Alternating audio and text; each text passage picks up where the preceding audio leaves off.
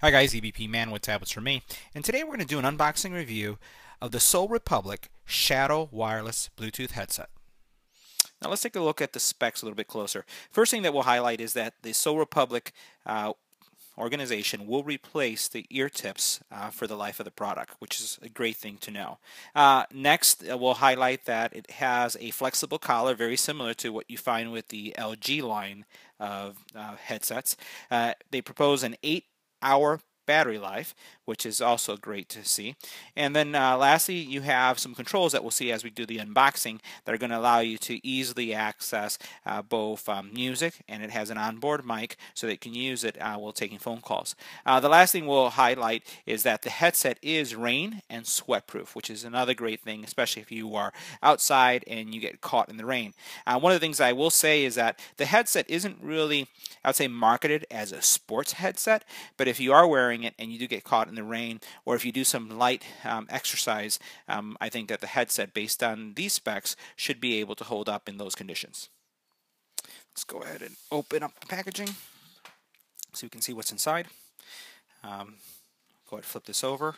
Here you have a nice instruction card telling you all the things that you should be doing, charging, connecting it to your cell phone, and then also adjusting the fit of the ear tips. Uh, here we have the Shadow Black version and we're going to lift this tab here and see what's behind it. You have a instruction guide.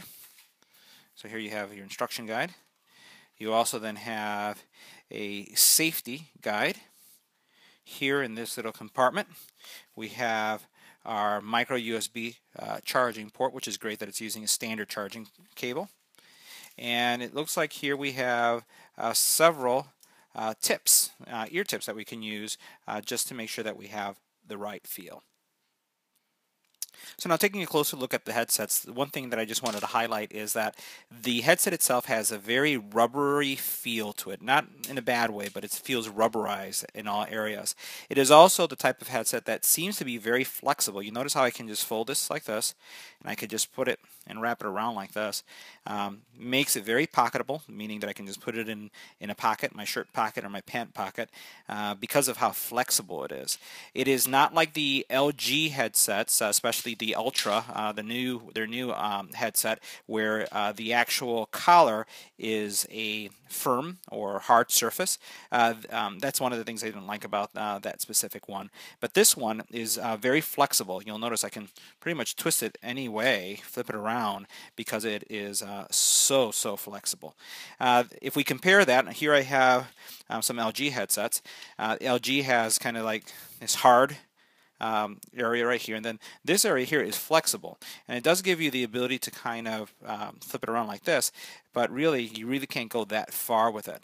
Now, uh, the actual headset themselves, the cord that's coming from the headset, uh, from the collar, is, if you notice right here, it's a flat cord, which is a nice feature. It's a, it's a nice one, but it does not have any kind of magnetic um, I would say retaining or, or, or holder, just like we have here with the LG. So the LG version, you can grab it, you can place it right here, and once it's stuck in place, it's not going to come out. So that's one difference that you see there with the headset.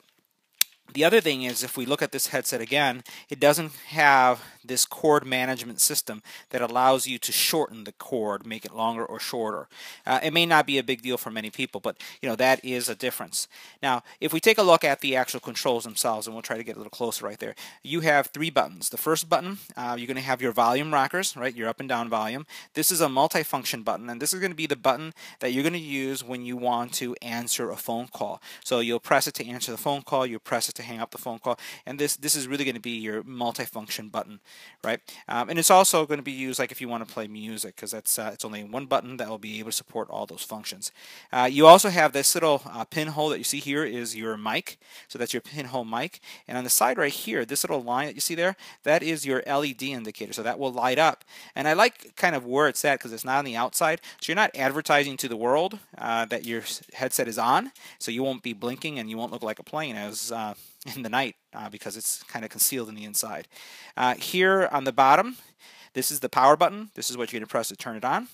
And on this side, let's see what we have here. Uh, we have our USB charging port. So if you flip this open, you'll be able to see that's your charging port and you'll notice it's a rubberized seal. Uh, this headset is uh, rated to resist rain and sweat. Uh, and it will be something that with this, the, the flexible nature of it again look how flexible this is uh, you should be able to use it in a variety of situations. Um, however once again as I mentioned in the intro it's not really rated as a sports headset so now the next thing we're going to do is we're going to pair the actual headset to our phone. Now this uh, headset will support up to two phones that you can have connected at the same time.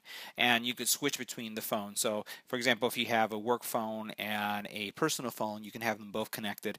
One you could be potentially listening to music and then when a phone call comes in, the music would be interrupted and then you can take the phone call from the other phone or vice versa.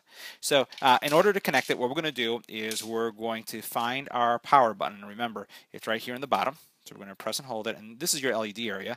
So since this is the first time we're powering up this headset, it should go automatically into pair mode, and you can see how it's blinking, that it's looking uh, to pair. So the next thing I'm going to do is I'm going to come on my phone, and I'm going to go into the Bluetooth settings. I'll bring that in, uh, in here, and you'll notice here it says shadow. All I'm going to do is I'm going to choose shadow, and it's going to go through its pairing cycle and uh, once it's uh, once it's paired you'll notice here at the very top it says that shadow is paired. So now the headset has been paired and you're also going to hear an audible uh, tone on the actual headset. Uh, so pairing is pretty simple. So now before we conclude the video, I just wanted to highlight the audio quality coming from the headset, which is really difficult to do because I really can't illustrate that uh, through the YouTube channel. But in my personal experience, if I compare this headset uh, from a bass, from just overall how, how, clear the music is, I do find that this specific headset um, is better than my LGs. And I have various versions of the LGs, and you've seen them all reviewed on the channel. So I find, uh, first of all, that the wear, um, I've been wearing this headset uh, for several hours, uh, and I find that it is more comfortable than the LG line. Um, it's even, I would say, more comfortable than the uh, the gear headset that's been reviewed on my channel. Um, I also find that the battery life, the 8 hour battery life, um, is um, close to as marketed.